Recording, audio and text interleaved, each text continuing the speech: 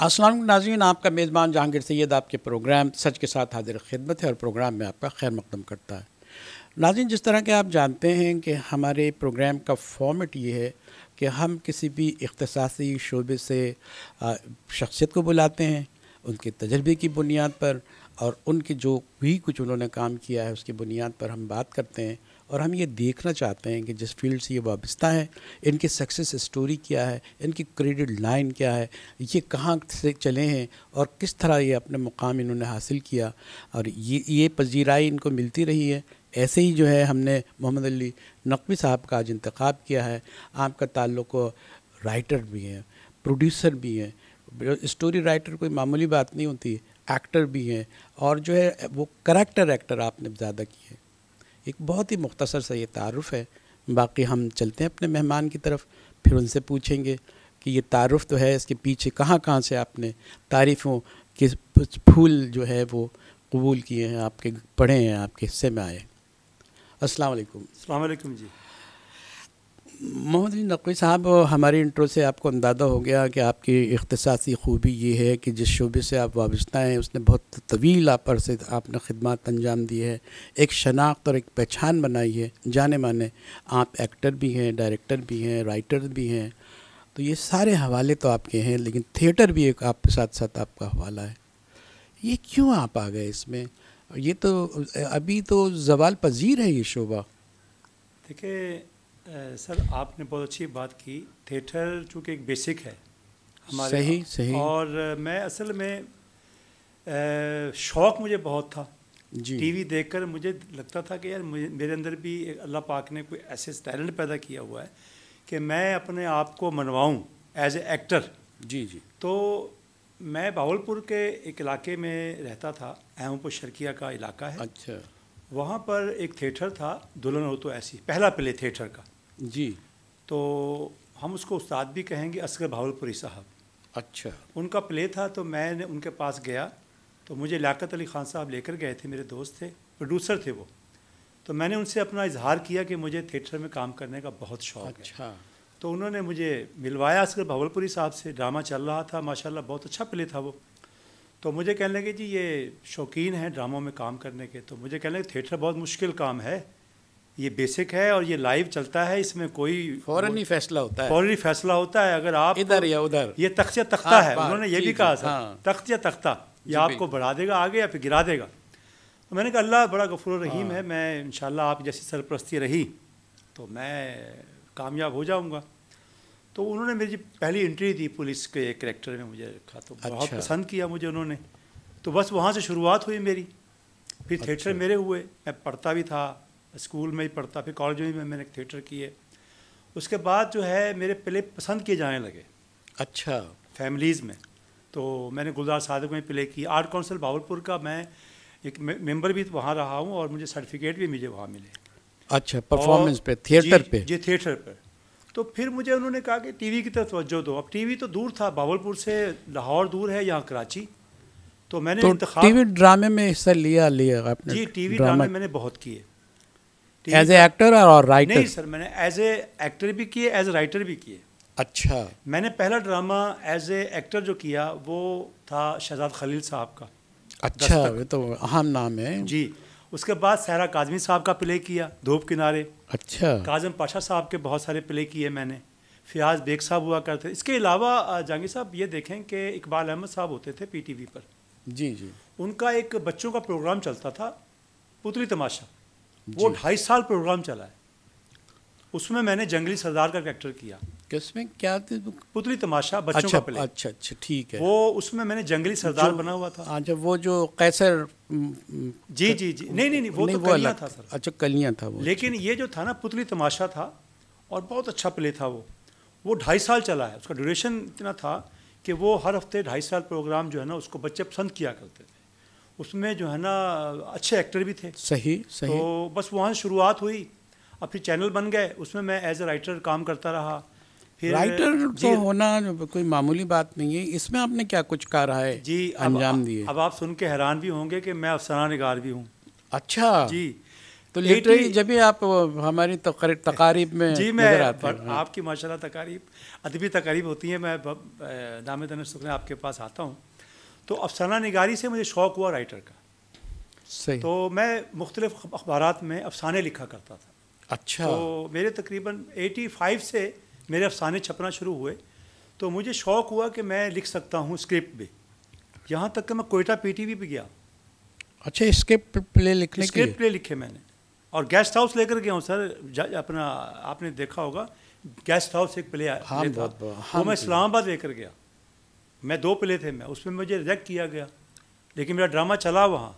अच्छा। मेरा प्ले वहाँ उठा के उन्होंने चलाया। एज राइटर आप एज राइटर उन्होंने चलाया एक प्ले मेरा चलाया वहाँ। अच्छा। इसके बाद फिर पुतली तमाशा भी मैंने ड्रामे लिखे पीटीवी के लिए। पीटीवी का एक ड्रामा है मेरा जो ब, आ, ये जो बकरा होती है ना जी जी, जी। उस पर मैंने प्ले लिखा था बकरा खूब टकरा। अच्छा कॉमेडी अच्छा। प्ले तो वो उनकी प्रोडक्शन थी। तो आप यकीन जाने मुझे उस वक्त खुशी की मेरी इंतहा न रही कि जब मुझे कहा गया इस्लामाबाद से मुझे लेटर जारी किया गया कि आपको हमने एक कैटेगरी में रखा है। अच्छा। राइटर में पीटीवी के राइटर में एक कैटेगरी में रखा है। तो मुझे बहुत खुशी हुई। अभी भी मैं प्ले लिख रहा हूँ मुख्तलिफ़ चैनल्स पर। अच्छा और मेरी बारह फ़िल्में हैं सैनमा स्कोप। फ़िल्में आपने जी। As writer as writer director DOP आप हैरान होंगे। और हाउसफुल पंजाब के जनूबी पंजाब में सराइकी इलाके में मेरी फ़िल्में कौन चली कौन सी फ़िल्में तब देखें मेरी फ़िल्म जो है सराइकी ज़ुबान की फ़िल्में हैं यानी उसको हम सराइकी में कहेंगे लग पता वेसी। अच्छा यानी उर्दू में कहेंगे लग पता जाएगा। हाँ जी जी वो प्ले वो जो फ़िल्म थी मेरी वो तजाब गर्दी बनाई थी मैंने। अच्छा। गाँव गोटों में तजाब गर्दी का बड़ा अच्छा एक तो आपने सराइकी में ये किया और ये का बड़ी कामयाब और अभी एक उर्दू फ़िल्म मैंने शुरू कर रखी है उसका नाम है डरना नहीं। अच्छा। डरना नहीं वो भी हॉरर प्लस कॉमेडी फ़िल्म है। ये तो बड़ा मुश्किल और सैनमास्कोप है। अच्छा। जिसको मैं नाचीज जो है वो तो वो कि, वो उसके कौन फ़िल्म साज कौन है उसके? उसके फ़िल्म साज मेरे एक दोस्त हैं यासीन साहब हैं अमेरिका में होते हैं। अच्छा। तो उन्होंने अभी बीच में कवर्ड का मसला हो गया था। हाँ हाँ। फिर उसकी वजह से फ़िल्म ज़रा डब्बे में चली गई। तो कुछ शूट शूटिंग मैंने शुरू की थी लेकिन उसको मैंने आगे बढ़ाना है। इसके अलावा मैं शॉर्ट फ़िल्में बनाता भी हूँ। लिखता भी हूँ शॉर्ट फ़िल्में अच्छा। मुख्तलि मौजूद पर। शॉर्ट फ़िल्म जी और सबसे बड़ी बात ये शॉर्ट फ़िल्म में तो बड़ी इम्पोर्टेंट होते हैं वो तो बड़ी लिटरेरी टाइप का टच उसमें होता जी, है जी, जी, शॉर्ट होती है ड्यूरेशन तो उसका कोई ना कोई मैसेज बहुत जी, जी, और बड़ा क्लियर मैसेज दे रही होती मैंने है। मैंने बाकायदा इसमें एक जो ख़वान पर तशद होता है ना हम्म। उस पर मैंने एक फ़िल्म जो है उसका नाम है खामोश। अच्छा। फ़िल्म आपको आप देखेंगे कि वो खामोश क्या है। वो भी मैंने लिखी है और उसको मैं एज ए राइटर डायरेक्टर मेरी फ़िल्म वो बन रही है। तो इन आप देखेंगे। और इसके अलावा मैं बताता चलूँ आपको जहांगीर सही साहब मेरे उस्तादों में उमर शरीफ साहब का नाम सैर फरी जी जी जी। उनके साथ तो कुछ हमने भी जी। कहीं ना कहीं पार्टिसिपेशन डाला था। उनके साथ मैंने तकरीबन कोई बारह प्ले किए हैं।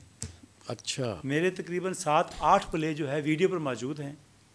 बकरा किस्तों पे बहुत ही शोरा फाक प्ले हमारा। जी जी ये बात। जो पूरी दुनिया में चला। उसमें उमर शरीफ साहब ने मेरी बड़ी रहनमाई की। लेकिन वो शकील तीली और वहीं से हुआ। जी जी। और वो, वो चार पाँच लोग तो बहुत ही एक्टिवली नज़र आते हैं। उसमें एक्टिव होकर आगे निकले। जो तीली आप ने फरमाया हाँ, ना कि शकील सिद्दीकी तीली हाँ हाँ। वो उमर शरीफ साहब ने उसको वो बिल्कुल ऐसे होते अच्छा, थे पतले से। अच्छा अच्छा। तो उनका नाम रख दिया तीली। अब तीली जब मशहूर हुआ जी, तो जी. आज वो तेली के नाम से शकील सिद्दीकी साहब को जाना पहचाना जाता हाँ। लेकिन मुझे कराची थिएटर में अगर आए तो मुझे लाकर सोल्जर साहब लेकर आए थे। अच्छा वो तो, तो मरहूम हाँ। वो, भी, वो भी मेरे उस्तादों में हैं उन्होंने मेरा हाथ थामा और मुझे उन्होंने क्योंकि कराची थिएटर जो है आपने एक फरमाया जवाल परीज पजीर क्यों हुआ? दी उसकी एक वजूहत है। वजूहत ये है कि इसमें हमारा कसूर शामिल है। हम लोग खुद शामिल हैं सही। थिएटर को बर्बाद करने में। माजत के साथ। जी जी। हमारे एक्टर भी शामिल है इसमें। थिएटर को देखें कराची जैसा बैन अवी शहर और दुनिया में माना जाता है कि इसके मुकाबले में लाहौर बहुत बड़ा है थिएटर के हवाले से। लेकिन वलगरिटी इतनी है वलगरिटी इतनी है वो थिएटर नहीं कहूँगा थिएटर कैसे है सर मैं थिएटर नहीं कहूँगा। थिएटर अगर होता था तो हमारे यहाँ कराची में ही होता था। और वो था लग गया उसके साथ वो जब था लग गया उमर शरीफ के जाने के बाद जब दुनिया चले गए उमर शरीफ साहब आज भी माशाल्लाह हमारे दिलों में ज़िंदा है उमर शरीफ का नाम ज़िंदा रहेगा। उन्होंने बाकायदा थिएटर को कमर्शल बनाया और इब्राहिम नफीस साहब होते थे फेस्टिवल करवाते थे। उन्होंने मेरा फेस्टिवल करवाया और इसके बाद मोहम्मद अहमद शाह साहब जो हमारे Sitara Imtiaz art council of Pakistan के प्रेसिडेंट हैं उन्होंने मुझे शामिल किया फेस्टिवल के अंदर। मेरे जब भी प्ले होते हैं मेरा शामिल होता है एक पंजाबी प्ले मेरा लाजमी होता है फेस्टिवल अच्छा। अभी इन दिनों जो फेस्टिवल हुआ माशाल्लाह हाँ उसके अंदर भी। मैंने चादर ड्रामा किया। अच्छा वो एक गाँव की स्टोरी थी वो बहुत पसंद किया गया। तो बहरहाल हम चाहते हैं कि थिएटर होना चाहिए।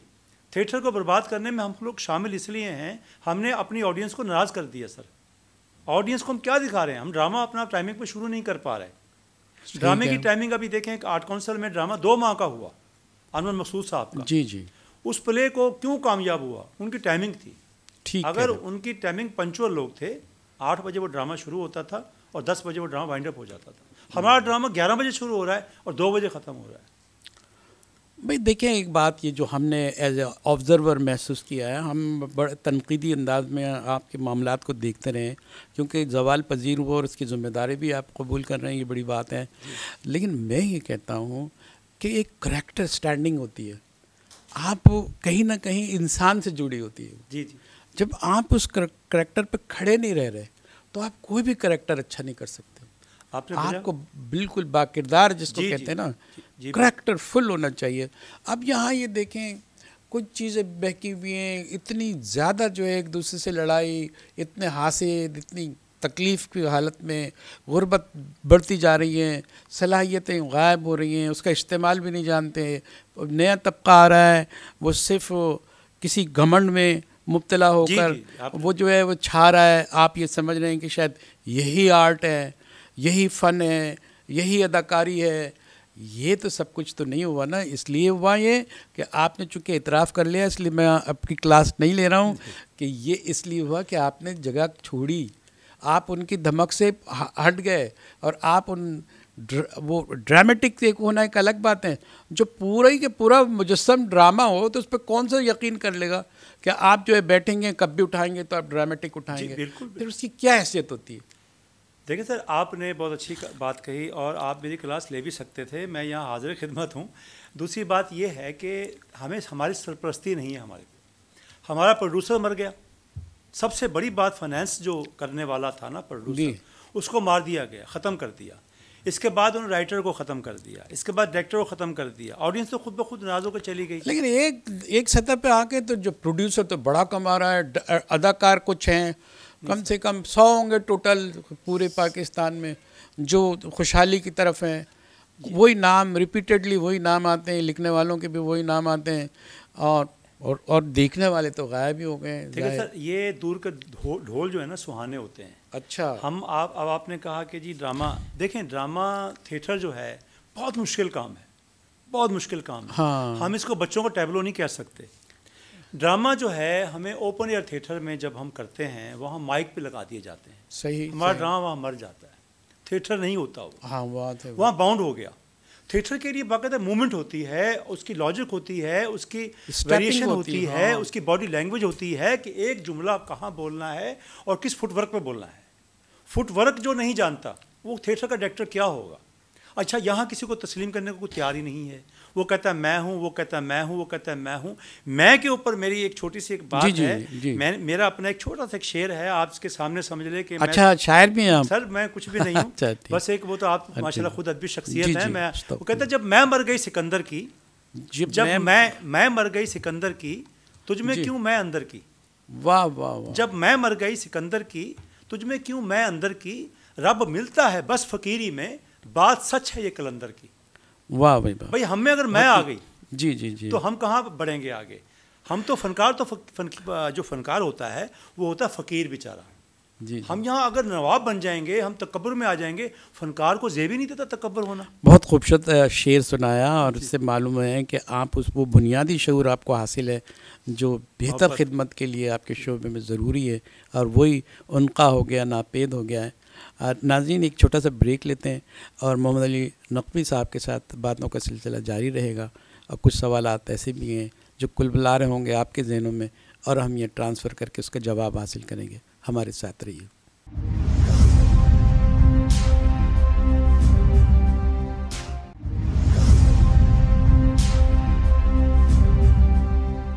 वेलकम बैक नाजीन प्रोग्राम में दोबारा हम आपका खैर मकदम करते हैं। हमारे साथ मोहम्मद अली नकवी साहब मौजूद हैं जो राइटर हैं हम फ़िल्म के भी हैं ड्रामे के भी हैं स्टेज ड्रामे के भी हैं और डायरेक्टर भी हैं साथ साथ। एक्टर होने के अतबार से हम बात करेंगे क्योंकि थिएटर और फ़िल्म के भी आपने हवाले दिए कि अब आपने बारह फ़िल्मों में जो है वो उसकी कहानी लिखी है। बहुत बड़ी बात है। अब हम थिएटर की तरफ़ आते हैं। जी जी। थिएटर में ये बड़ी खूबी है कि उसमें आपको सरापा जो है ना परफॉर्म करना होता है। नाखून से लेकर बाल तक जो ना, बाल से लेकर नाखून तक जो है, आप होशियार, बेदार, हर चीज़ को अपने कंट्रोल में ग्रिप में लेके, समझ के शूर के साथ आप डिलीवर करेंगे, उसकी टाइमिंग्स होगी, उसकी अदायगी होगी, सब कुछ होगा। एक मिनट में फैसला होता है कि आपने ये सब कुछ किया, सही किया स्टेप आपका सही रहा, नहीं रहा, बस उसी वक्त फैसला कर लेते हैं कि ये ठीक है। और ये ठीक नहीं है। इस पर आप क्या कहेंगे? आ, बहुत अच्छा आपने सवाल किया और ख़ूबसूरत अंदाज में आपने जो अपना उसमें मेरे पास तो कुछ रहा नहीं बात करने के। आपका माशाल्लाह थिएटर के हवाले से भी क्या आपका भी एक बहुत अच्छा तजर्बा है। आपने जो अच्छी बातें की हैं। मैं आपसे ये कहना चाहता हूँ कि बेसिकली जो थिएटर है ना थिएटर पर जो फनकार ने जो कुछ कह दिया वो लाइव है। वो लाइव वो है। हाँ, लाइव पब्लिक जो ऑडियंस सामने बैठी हुई है उसने अगर आपके करेक्टर को पसंद किया तो उसके हाथ की चुनबुन ख़त्म हो जाएगी। उसने तालियाँ देनी है और उसको आपको दाद देनी है। जुमला ये है कि फ़नकार जो है सर वो उसको अगर रोटी ना मिले तो वो नहीं मरता। फ़नकार को अगर दाद ना मिले वो मर जाता है। फ़नकार को थिएटर के ऊपर आज का फनकार बेदाद हो गया बे ख़त्म हो गया सर। बेदाद क्या वो उसको ख़त्म कर दिया गया कि आज हमारा थिएटर वीरान क्यों हुआ? उसकी वजूहत ये है कि हम जो हैं वो मछली हैं पानी की हम पानी के बगैर नहीं रह सकते। सही। हमारा जो थिएटर है एक राइटर ने अगर कैरेक्टर लिखा मेरा कैरेक्टर था एक यानी निशाई का कैरेक्टर मेरे अच्छा, लिए लिखा। अच्छा। मैंने लिखा। हम्म। तो मैंने यकीन जानिए कि मैं पंद्रह दिन उन नशाइयों में हिरोंचियों में जाकर बैठा मुशाह करने के लिए कि ये कैसे करते हैं इनकी मूवमेंट क्या है ये कैसे बोलते हैं कि नशई क्या करते हैं। यकीन जानने को दीमक प्ले था एंटी नारकोटिक्स फोर्स का। अच्छा वो प्ले किया मैंने उसमें मैंने अपना गेटअप बनाया। आप यकीन जाने कि लोगों ने बहुत पसंद किया। तीन लोगों पे कहानी घूमती है दीमक। तो हमने उस प्ले को किया और दीमक की थीम क्या थी? दीम दीमक की थीम ये थी कि तीन बच्चे लड़के ऐसे होते हैं जो मनशियात में चले जाते हैं मायूस होकर दुनिया अच्छा। से वो कहते हैं कि जी सब कुछ यही है। मनशियात मनशियात तो में दीमक कह रहे हैं। वो दीमक समझिए वो जब पीते हैं ना सर हाँ। उनको अंदर अंदर से चाट जाती है दीमक। तो जब वो ख़त्म होते हैं तो उनको दिखाया गया कि इनको अंदर से जो मनशियात है जो नशा है वो दीमक की तरह चाट रहा है। तो वो अपनी मौत के जिम्मेदार खुद होते हैं। दिखाया ये गया है कि हमारे माशरे में जो ये नौजवान नस्ल के लोग हैं हमें इनको बचाना चाहिए। ना कि इनको हमने इनकी अगर हम इसकी हौसला शिकनी करेंगे तो इनकी हौसला अफजाई ना करें हौसला शिकनी करें ताकि वो आ जाएँ वापस। एक सवाल है चूँकि आप हम जद शख्सियत हैं बहुत सारे आपके पहलू हैं मोहब्बत और इसमें आपने काम भी किया है बनवाया भी है। एक बाकिरदार आदमी जो है ना वो जितना खूबसूरत काम कर सकता है किसी भी फ़ील्ड में वो करता है। लेकिन यहाँ जब आप करेक्टर में जाते हैं किरदार में जाते हैं तो उसमें उसका जो एक्टर होता है उसका अपना किरदार कहीं इतना खोखला होता है कि वह मिस मैच हो जाता है मैच नहीं कर पाता। इसलिए इस पर क्यों नहीं ज़ोर देते हैं कि जो ठहराव जो वक़ार दूसरी फील्ड्स में रहता है आपके लिए वो उसमें गुंजाइश क्यों नहीं निकलती कि आप इतने डिग्निफाइंग अगर आप काम कर रहे हैं तो वहाँ तो लोग समझते हैं या तो बड़ा मशहूर होगा तो उसकी शोहरत की इज़्ज़त करेंगे उसकी इज़्ज़त तो इसलिए हो रही है कि वो मशहूर हो गया। वो हादसतन भी हो सकता है। लेकिन फिर देखते हैं कि अजीब सा वलगरपन है वक्त ज़ाया कर रहे हैं सोच नहीं है कोई बात नहीं है जिस पे वो खड़े हों उनको अंदर का इत्मीनान हो। इस जो बहरान है जो फिक्री बहरान है इसका कैसे मुकाबला किया जाए? सर इसके बारे में मैं आपको बताता चलूँ कि ये जो हमारे 90 परसेंट नाइन्टी फ़ीसद जो हमारे फ़नकार हैं ना वो फ़नकार नहीं है मज़दूर हैं। अच्छा। मज़दूर से मुराद नहीं फ़नकार फ़न के ज़रिए अपने आप को मनवाएगा। जो मज़दूर हैं वो दिहाड़ी के चक्कर में होते हैं कि किसका प्ले हो रहा है हम सिर्फ़ वहाँ घुस बैठिए। हम चले जाएँ। डाल जी जी हमने हमारी बस एंट्री डाल दें सर हम अपने उनका थिएटर से कोई ताल्लुक नहीं होता। वो क्या करते हैं वन मैन शो के लोग भी हमारे थिएटर में आ चुके हैं जो जो शादी ब्याहों में वन मैन शो करते हैं। उन्होंने आकर तो वहाँ पर भी वही कुछ करना है। वो एक माइक पर खड़े होकर बाउंड हो गए पाबंद हो गए उन्होंने अपनी कॉमेडी के ज़रिए तो हमारा थिएटर वहाँ मर गया। थिएटर तो सर ऐसी चीज़ है ऐसा किरदार है कि जो लिखा जाए और जो किरदार को ढल जाए वही कैरेक्टर है। अभी आपने सिटकॉम की बात की है। जी जी। सिचुएशनल कॉमेडी सिचुएशन कॉमेडी बड़ी अहम जी। होती है। जी वो आपने स्टैंड अप कॉमेडी भी की है। स्टैंड अप कॉमेडी जी जी स्टैंड अप कॉमेडी भी की है। हाँ तो वो उसके अंदर आप जब वो सिचुएशन कॉमेडी करते हैं तो उसके लिए खास मिजाज चाहिए होता जी जी जी। अल्फाज का जखीरा चाहिए होता जी जी। उसकी टाइमिंग चाहिए होती है। उसकी डिलीवरी होनी चाहिए। उसके रिदम होना चाहिए उसमें। ये सब कुछ तो नज़र आता नहीं है। हम अगर आप मुलाकात करें किसी अदाकार से तो उसकी पूरी ज़िंदगी में रदम नहीं है तो वो बेचारा का क्या डिलीवर करेगा? असल में सर मसला मसला ये है कि वलगैरिटी जैसा कि मैंने ज़िक्र किया आपने ये वलगैरिटी को ज़्यादा लेके आए ये कहते हैं कि पब्लिक को हंसना चाहिए चाहे हमारे ज़ुबान से कोई ऐसी बेहुदा बात निकल जाए। वो हंसाना है हमने ये नहीं देखना। मादर पिदर जो है मादर पिदर आज़ाद हैं और, और वो शर्म से आ रही शर्म तो है आप जी जी आ रही और जो फै, फैमिलीज़ बैठी हुई हैं वो एक मायूब समझती हैं इन चीज़ को कि भाई ना आती तो हैं। देखिए सर अनवर मकसूद साहब भी लिखते हैं कुछ ज़बरदस्त। लेकिन वो उसके अंदर वो अल्फाज उनके ऐसे होते हैं जुमैनी होते हैं कि किसी को समझ में आ जाते हैं। इसका मतलब ये नहीं कि हम खुल के सामने आ जाएँ। हाँ, ऐसा नहीं है। मैं इसके बड़ा खिलाफ हूँ। मैं जब भी मेरे तकरीबन सर फिफ्टी थ्री प्लेज हैं मेरे एज राइटर डायरेक्टर मैं जब भी किसी कास्ट को लेता हूँ ना मैं मेहनत करता हूँ। मैं कहता हूँ कि इसके अंदर आपने ढल जाना है। इसमें सोने पे सुहागा डालना है आपने। अगर आप अपने करेक्टर में ढल जाएँगे ना तो सामने वाला कहेगा कि यार मुझे कुछ नज़र आया है इनके प्ले में। मैं अपनी तारीफ़ नहीं कर रहा हूँ। मैं कहता हूँ कि जैसे हम प्ले करते हैं जी जी। चंद लोग रह गए सर हमारे थिएटर्स में। मैं उनको नाम नहीं लूँगा। चंद लोग यानी कि सिर्फ़ हम उंगली पे गिनती करेंगे तो वो लोग अपने प्ले करते हैं। अब वो भी चले गए बेचारे। एक बात मुझे और समझ में नहीं आई। जी जी। थोड़े मशहूर हो जाते हैं ना तो फिर वो राइटर भी हो जाते हैं। राइटर तो एक अंदर की चीज़ राइटर तो क्रिएटर होता है। क्रिएटर होता है क्रिएटर होता है क्रिएटर अगर आप क्रिएशन उसमें नहीं जी है, नहीं है नहीं हल्ला क्रिएशन नहीं है। सलाहियत नहीं है। और वो जो ना आप देखते हैं उसको लाइनें देख रहे हैं समय और उन्होंने कहा कि ये तो मैं भी कर सकता हूँ। सर अल्फाज ही नहीं है। अगर हमने अपने आप को कहा कि राइटर राइटर तो बहुत मुश्किल काम है। अगर राइटर देखें मेरा प्ले है वो पागलों पे है। मेरा अच्छा। प्ले है वो होने जा रहा है पागलों पे है।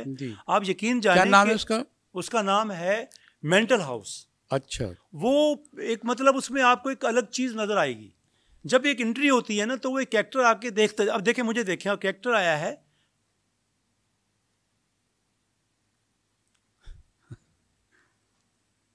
Good, पागल। गुड गुड पागल। पागल। पागल। सही, सही, अब डॉक्टर आता है कहता है हेलो शरीफ हाँ। क्या कर रहे हो? डॉक्टर साहब मैं भी देख रहा हूँ आप भी देखें पागल। पागल और डॉक्टर क्या कहता है? चलो अंदर। पागल को सब पागल ही नज़र आते हैं। हाँ। वो ऑडियंस की तरफ़ इशारा है उसका। तो आप देखिए इसमें कोई वेराइटी नज़र आई आपको? नहीं नहीं वेरिएशन नज़र आएगी आपको। अब आपको ये ऐसा प्ले नज़र आएगा। इसमें बहुत कुछ पैगाम है ना। पहलू पैगाम ऐसा। मैं अब छोटी सी एक बात आप जबान से ज़्यादा बॉडी बोलती सर ज़ुबान जबान से ज़्यादा खामोशी सर एक उसमें मेरे जबान से ज़्यादा जो है जो वक्फा होता है ना उसका बीच का। आपका एक छोटी सी एक बात करता हूँ। मेरे प्ले में एक करेक्टर है। हम्म। वो एक बुज़ुर्ग है बेचारा। बहुत बुज़ुर्ग सत्तर साल पुराना बाबा। उसने एक रेडियो उठाया हुआ पुराना। और वो रेडियो उठा के अब देखिएगा मेरी तरफ़। अच्छा अच्छा। अब वो डॉक्टर के पास एक साफी आके कहता है डॉक्टर साहब ये बुज़ुर्ग कौन है? ये क्या सुन रहा है? कहने लगा आज तक मुझे इसने बताया ही नहीं कि मैं क्या सुन रहा हूँ। अब पंच लाइन सुनिएगा पंच लाइन क्या है? सही, तो कहने मैं पूछ लूँ? कहने लगा तुम्हें अगर बताता तो तुम पूछ लो। तो जाके बुज़ुर्ग से पूछता है कहने लगा बुज़ुर्ग को क्या सुन रहे हैं आप? बुजुर्गो क्या सुन रहे हैं? आप क्या सुन रहे हैं? कभी भी कोई अच्छी खबर आ सकती है। यानी सत्तर साल से उसको कोई अच्छी खबर नहीं मिली सर। रेडियो पे लाइन है इसकी जी। लाइन है इसकी। तो मैं ये लिखता हूँ। मैं चाहता हूँ कि मुझे भी थिएटर दिया जाए मेरे मुझे भी सपोर्ट किया जाए। मेरे पीछे भी मोहम्मद अहमद शाह साहब जहाँ दूसरों को सपोर्ट करते हैं मुझे सपोर्ट किया उन्होंने। मुझे वो दें क्लासिकल प्ले के लिए मैं करके दिखाऊँगा। और मैं करके दिखाऊँगा जिस तरह मल्टीनेशनल कंपनियाँ मिलती हैं लोग आते हैं मिलते हैं मुझे भी मेरी मेरी भी सरपरस्ती होनी चाहिए क्योंकि ऐसा ना हो कि मेरा मेरा टैलेंट मेरे कबर के साथ दफ़ा एक बात मुझे आपसे इख्तलाफ है इस बात से। जब टैलेंट होता है ना जी। जो पौधा उगने वाला होता है ना जो ज़मीन की छाती फाड़ के जो निकलता है निकलता है जी जी। उसमें रिक्वेस्ट की और सराहने की उम्मीद नहीं लगा के रखता है। वो अपनी क़वत से, अपनी सलाहियतों से बाहर आता है। उसमें अहमद शाह का कोई किरदार नहीं होता। तो वो इसी ये ये आप जो बेसाखियाँ हैं, जो पैदा कर लेते हैं, उससे जो है ना थोड़ी से आपके मसल्स लगते हैं, आपकी हिम्मत कहीं जवाब दे रही है और आप सहारा ढूंढ रहे हैं। इस जो मैंने ये कुछ कहा, इस सवाल का जवाब भी मैं चाहूँगा आपसे। जी, देखें, आपने बहुत अच्छी बात कही, जंगीर साहब। असल में मोहम्मद अहमद शाह साहब आर्ट काउंसिल ऑफ़ पाकिस्तान पूरी दुनिया में इस वक्त पूरी दुनिया में जाना जाता है। जी जी। अदब के हवाले से आलमी कॉन्फ्रेंस के हवाले से थिएटर के हवाले से म्यूज़िकल के हवाले से मोहम्मद अहमद शाह साहब हमारे सरप्रस्त आला हैं वहाँ के प्रेसिडेंट हैं। वो बाकायदा हमें मौका देते हैं कि भाई तुम्हें करना चाहिए। अब उन्होंने ये तो नहीं कहा कि पब्लिक को भी मैं लेकर आऊँ। नहीं अब तक थिएटर की जगह दी उन्होंने। लेकिन बस कुछ वजह वजूहत ऐसी होगी कवर की वजह से दो साल तो हम वैसे ही मारे गए।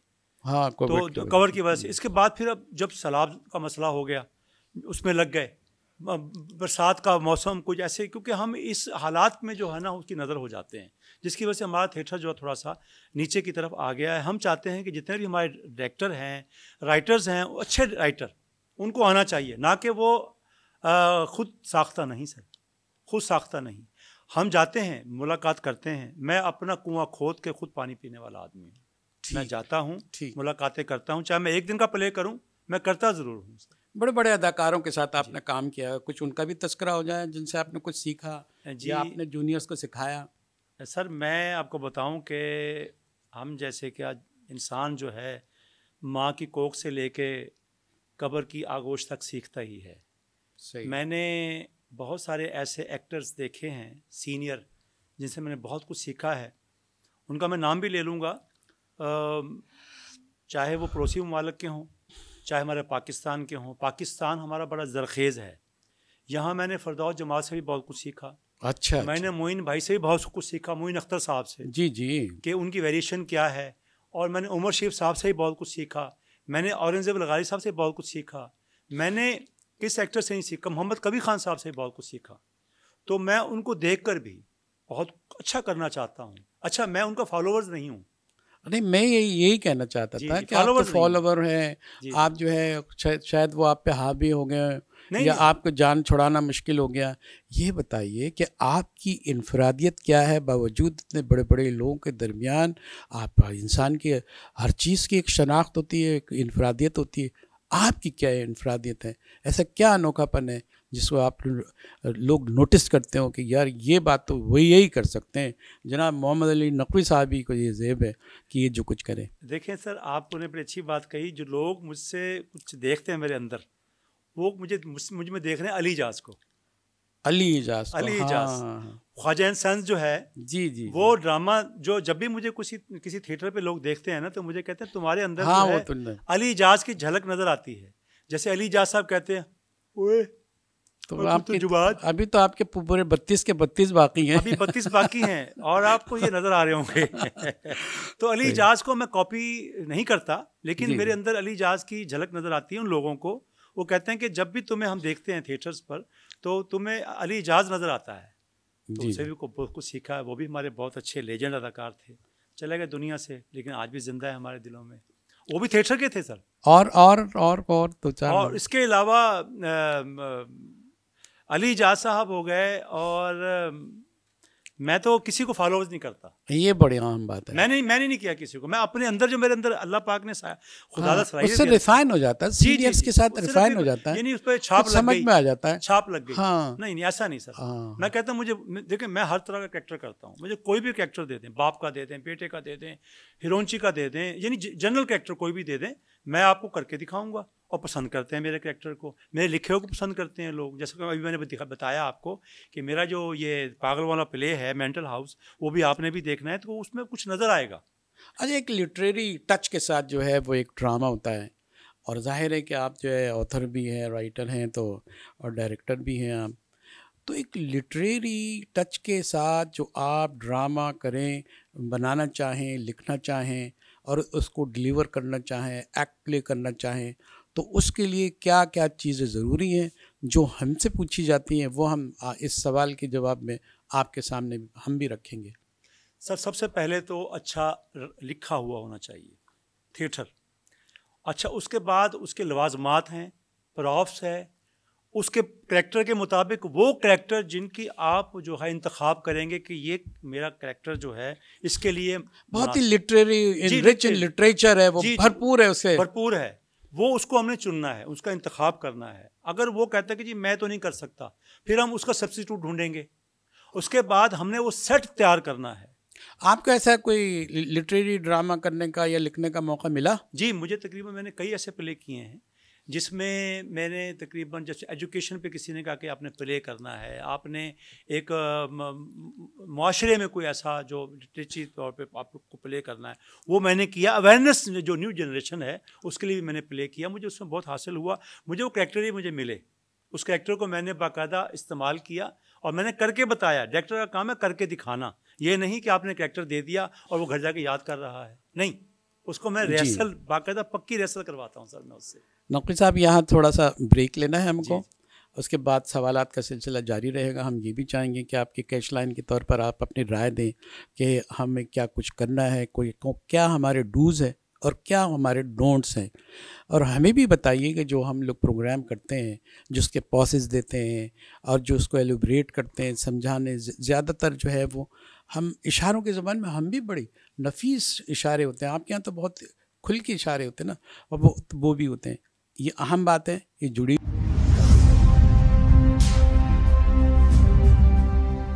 वेलकम बैक नाजीन प्रोग्राम में दोबारा हम आपका खैर मकदम करते हैं। हमने ये कहा था कि जो लिटरेरी ड्रामे होते हैं, जो लिखते हैं, उसके लिए जो है, एक लिटरेचर का इंसान होना चाहिए, गहरा इंसान, बातिन का इंसान, सोचने वाला इंसान, ये सवाल हमारे पास थे। हमने आपसे यही रुजू करना चाहा, क्योंकि आप पढ़े लिखे तबके से भी ताल्लुक़ रखते हैं, आपके वलगरेटी तो आप में है ही नहीं। तो ये जो गहरे मैसेज वाले, ये कैसे आप लिखते हैं या उसको कैसे आप एक्ट प्ले करते हैं? वो तो बड़ी गहरी चीज़ है। देखिए सर, आपने बात की, मैसेज की। थिएटर में, किसी भी प्ले में, किसी बात में अगर मैसेज ना हो तो वो बात बिल्कुल, उसके बात का कोई वो नहीं है। थिएटर के अंदर जो है, मैंने जहेज पर भी प्ले किए मनुष्यात पर भी प्ले किए, मैंने यानी कि माशरे में जो बुराइयाँ हैं वो मैसेज को लाजमी देना है। एक अवेयरनेस है उन ऑडियंस के लिए कि मैं चाहता हूँ कि मेरे अच्छा मैंने जाली पीरों के खिलाफ भी बहुत काम किया है। अच्छा। ये जो जाली पीर नहीं होते हाँ, वो हाँ. मैंने एक ड्रामा किया था शतान के चेले। अच्छा। यकीन जाने कराची के बहुत सारे जाली आमल अच्छा, पे हमला आवर हो गए थे। अच्छा। कि इसमें तो हमारे करतूत शामिल कर देगा ये। हाँ। उसमें तो इसमें उसमें वो हमारे चीफ गेस्ट थे रौफ सदीकी साहब उन्होंने अच्छा, अच्छा। पूरा प्ले बैठ के देखा। अच्छा। उन्होंने कहा कि यार ये क्या कर दिया? इतनी ऑडियंस कहाँ से आ गई? इतनी खातन कहाँ से आ गई? उसकी पब्लिसिटी थी थिएटर की। शैतान के चेले मैंने ड्रामा अच्छा। किया। मैं कहता हूँ कि मेरे प्ले में अगर कोई एक मैसेज भी किसी को पहुँच जाए तो मैं चाहता हूँ कि मेरा मकसद पूरा हो गया। तो जहेज़ पर भी मेरा यही मौजू था। तो अब अगर वो प्ले हम अगर बगैर उसके क्या नाम है इसका वो करेंगे अपना बगैर मैसेज के तो प्ले नहीं होते वो। सरपैरी नहीं अभी हमने टीवी के हवाले से छोटी स्क्रीन जो है, बड़ी अहम है और उस पर जो ज़ाहिर है कि ले दे के तो वही आता है। फ़िल्म वाले भी जो है, आजकल वही लौट के आ रहे हैं और छोटी स्क्रीन पे ही अपना बसेरा डाले हुए हैं और काम कार करके दिखा रहे हैं। थिएटर की बात जो है फ़िल्म के साथ जो है, वो आप इसको किस तरह करते हैं? टीवी पर जो ड्रामे होते हैं, उसको अगर लिखने का मौका मिला है, उसको बरतने का, यानी एक्टिंग का मौका मिला है तो उसमें आपने क्या कुछ किया है और क्या कुछ होना है और क्या कुछ नहीं होना चाहिए? देखिए सर अगर हम माजी को देखेंगे ना तो माजी में लोग इंतज़ार किया करते थे कि अच्छे प्ले हम देख रहे हैं टीवी के। हम्म। और टीवी के आगे बैठ जाया करते थे। सही और वो प्ले ऐसे होते थे जिसके अंदर बाकायदा एक चेहरे की वेरिएशन नज़र आती थी डायलैक्ट डिलीवरी नज़र आती थी एक किरदार कशी नज़र आती थी मज़हब के साथ किरदार नज़र आता था। कि हमने क्या करना है? मुआरे का किरदार उठा के वो करते थे। अब क्या है? अब सिर्फ़ और सिर्फ़ रह गया है एक ही मौजू मज़हब के साथ। हर चैनल पर एक ही डगर के ड्रामे हैं जिसको तलाक का मौजू बनाया जाता है। और हर ड्रामे का एक ही मौजू है ग्लैमर्स। ये क्यों करते हैं? कोई पीछे कोई ऐसी लाइन है उनको फंडिंग है? होती है? क्या होती है? एक ही जैसे कैसे बनाते हैं? और हम भी बड़ा कबूल करते हैं और बड़ी खातन देख रही होती हैं बहुत दिल दिल जमई से। अब हमने ना असल में संभल शुरू कर दिया। पड़ोसी ममालक को देख कर ना उनकी डगर पे शुरू हो गए। कौवा चला, हंस की चाल, अपनी भी खो बैठा। हमारे पास माशरे में बे इंतहा कहानियाँ मौजूद हैं, वो हम नहीं उठा रहे। हमने उठाया है तो सिर्फ़ एक मौजूद उठा लिया तलाक का। एक नौजवान बच्ची बेचारी बैठी हुई है, वो प्ले देख के क्या असर लेगी? वो अपने शोहर के साथ बदतमीजी करेगी। आखिर क्या होता है? वो आम ज़िंदगी के अंदर वो तलाक याफ्ता हो जाती है बेचारी। वो इनका मकसद पूरा हो जाता है। ये जो वेस्टर्न थॉट है जिसने आपका ये बेड़ा गर्क किया है और इसी तरह सोचते हैं। बल्कि वहीं की कुछ फोर्सेज ऐसी हैं सोर्सेज ऐसी हैं जो बाकायदा सरमाकारी कर रही हैं और ये अपना हम उसको प्रूफ भी नहीं दे सकते ना। ये वो चोरी है जिसका पाँव नहीं है। ये वो झूठ है जिसका पाँव नहीं है। इसकी फंडिंग भी हो रही है। लेकिन वो पूछेंगे जी आप आप नहीं सर। इतनी बड़ी प्रोडक्शनें कैसे हो रही हैं? इतनी बड़ी बड़ी प्रोडक्शन लाखों करोड़ों रुपए की प्रोडक्शन कौन करवा रहा है पीछे? उसका मकसद क्या है कि हम बेरारवी का शिकार हमारे समाज को उलट पुलट करना चाहते हैं। कर दिया हमारे समाज को कि अगर शोहर थका हारा घर पर आता है तो बीवी टाइम नहीं दे रही। ठीक है सर? बीवी अपने खाने पकाने में टाइम नहीं दे रही। क्योंकि वो उसने ड्रामा देख लिया है। उसने अपने ऊपर बिल्कुल ऐसा दिमाग में उसने अपने अंदर वो समो लिया कि हटो मैं कुछ आप कुछ भी नहीं है। तो इस तरह झगड़े शुरू हुए हैं हर घर के अंदर। बड़े बड़े चीज़ें हैं। हम बहुत कुछ दिखाना चाहते हैं। मैं अपना स्क्रिप्ट लेकर गया हूँ मुख्तलिफ़ चैनल्स पे चेक कर दिया। कि यार इसमें तलाक का ज़िक्र तो है ही नहीं। अच्छा। जी जी जी सर इसमें ग्लैमर नहीं है। इसमें ये नहीं हमें ये मैसेज का ठेका लिया हुआ हमने। हमने तो पैगाम का ठेका लिया हटाओ इसको। फिर मैं कॉमेडी लेकर गया। कॉमेडी लिखना बहुत मुश्किल काम होता है सर। जी जी। उसमें भी उन्होंने मुझे तजर्बा है थोड़ा सा कॉमेडी आपने कहा कि जी इसमें बेरारवी का शिकार कोई चीज़ आई नहीं। आपने नौजवान नस्ल को बर्बाद ही नहीं किया। तो हम मुझे बताया मैं मैं हाथ बाँध दिए मैंने अपना कलम तोड़ना चाहा, लेकिन क्या करूँ? कहाँ जाएँ? इसलिए हमारा टीवी और फ़िल्म भी हमारी ऐसी ही है। असम्बल फ़िल्म है हमारी, सर। हमने एक लड़की को वलगर कपड़े पहना के तो हम उसको नाच नचाना देख देख रहे हैं पड़ोसी मालक में। वो भाई, वो देख चुके हैं हम, आप क्या दिखा रहे हो?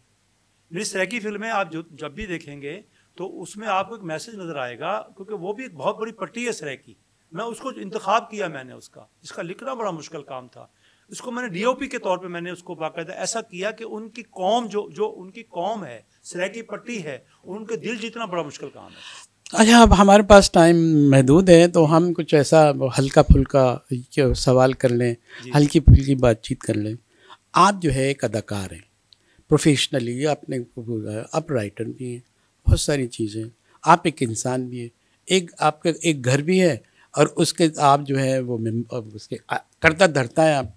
तो ये आप पे तारी जो कैफियतें हो जाती हैं घर वाले नहीं भुगतते कि आप तो आज ये बन के आ गए और तो ये आ गया और अजीब अजीब आपकी वो जो मैच नहीं कर रहे हो तो सिर्फ़ आपको या तो शोहर समझ रहे हैं या भाई समझ रहे हैं और या तो बच्चा बाप समझ रहे हैं और आप निकले एक्टर तो ये कैफियत में तकरार नहीं होती, आपको मुश्किल पेश नहीं आती? देखिए सर, आपने ज़िक्र किया कि एक्टिंग का। जी। अदाकार का। वो तो तारीख हो जाती है ना तो कैफियत तारीख रखते ना। अदाकार होना बहुत मुश्किल काम है। ये हर कोई नहीं बन सकता। ये गॉड गिफ्ट है अल्लाह की तरफ़ से। घर में अगर कोई एक्टर बेटा है बेटी है वो सलाहियतें अल्लाह की तरफ़ से हैं। अब अगर मेरा बेटा अगर एक्टर बनना चाहता है तो मैं क्या कर लूँगा? मेरा बेटा मेरी एक्टिंग पसंद नहीं कर रहा तो मैं क्या कर लूँगा? तो वो कैरेक्टर जो होता है अपने अंदर समोना पड़ता है। अब मैं मैं बताऊँ अगर टीवी पे कोई एक्टर अच्छा है ना अगर वो हीरो है मैं कहता हूँ सबसे बड़ा हीरो वो है जिसका किरदार अपने घर में अच्छा है। वाह वाह ये सुनना चाहता था। तो वो, वो चाहता असल वो किरदार है ना? किरदार उस किरदार को बहुत बड़े बड़े एक्टर बने हुए हैं अदाकारियाँ हो रही हैं बड़ा अच्छा दिखा रहे हैं। आप जो है ना सोशली भी बहुत अच्छे हैं सोसाइटी में भी बहुत अच्छे हैं। आप होम में फेल हैं आप वर्क प्लेस में फेल हैं। तो ये मुख्तलिफ़ किस्म की कामयाबी आपकी नहीं है जब तक कि आप अपने आप को एक बिल्कुल मजमू सूरत में रखें कि मैं जहाँ भी हूँ मेरा किरदार अपना है इनफरादियत है इसमें और वही मैं हूँ। मैं चाहता हूँ ये पैगाम देना आपके जी जी जी। कि जो आप इधर जो एक्टर है वो एक्टर अपना लिबादा बाहर उतार कर आग घर पर आए। और अगर वो बाहर हीरो है तो उसको घर में विलन नहीं होना चाहिए। उसको भी घर में हीरो ही होना चाहिए। वो किरदार वो घर में अदा करे जो टीवी पर करता है फ़िल्म पे करता है थिएटर पे करता है। अपने बच्चों का अपनी बीवी बच्चों का घर का अपने ख़ानदान का दिल जीत लेना सबसे बड़ी कामयाबी है वही हीरो है। यहाँ तो ज़ीरो से हीरो की कहानी पर हम पहुँच गए और ये बड़ा अच्छा अपने मैसेज दिया है लेकिन ये भी देखना चाहिए कि हम जिस हीरो को तैयार कर रहे हैं कि ऐसा तो नहीं है कि वो अपने आप को हीरो समझ रहा हो कौम ज़ीरो हो रही है उसकी वजह से। उसके अंदर एक छोटा सा जवाब मैं चाहता हूँ कि ये जो हीरो से ज़ीरो का जो मसला है इसको कैसे काबू पाया जाए?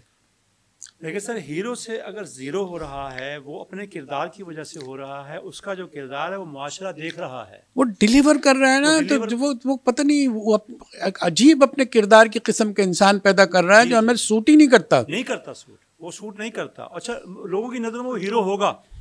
लेकिन उसका मकसद जो होगा ना वो अंदरूनी तौर पर वो अपने आप को हीरो ज़ाहिर कर रहा है कि मैं हीरो हूँ। क्योंकि जब वो अपना ऐसा किरदार अदा करता है माशरे के अंदर कौम में मुल्क के लिए चाहे कुछ भी वो ज़ीरो होता है। हम चाहते हैं कि हमारी कौम के लिए कोई ऐसा हीरो हो जो अपने अंदर भी वो हीरोशिप रखता हो। वरना कौम हीरो से ज़ीरो करने में सर पता नहीं चलेगा। जी बिल्कुल ठीक। जी।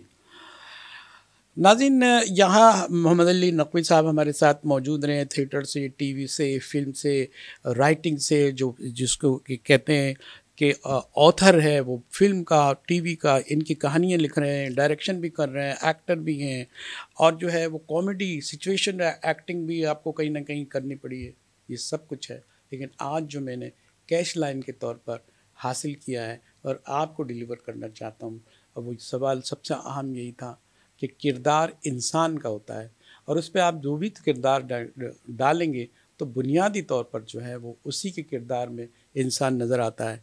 इसलिए सबसे पहले तो हमें बा किरदार अदाकार चाहिए और अगर वो अदाकार के क्या है कि अभी सुबह कुछ है, शाम कुछ है, घर पे कुछ है, मोहल्ले में कुछ है, लेकिन एक ऐसा शख्सियत होनी चाहिए जिसके रिफ्लेक्सेस जिसके अक्स जो है वो नज़र आए और सोसाइटी को उसका फ़ायदा पहुँचे। नाजिन हम अपने मेज़बान मेहमान मोहम्मद अली नकवी साहब के साथ इजाज़त चाहते हैं। जहांगीर सैद को इजाज़त दीजिए इन फिर मुलाकात होगी। फिर बात होगी, तब तक के लिए इजाज़त, अल्लाह हाफिज़।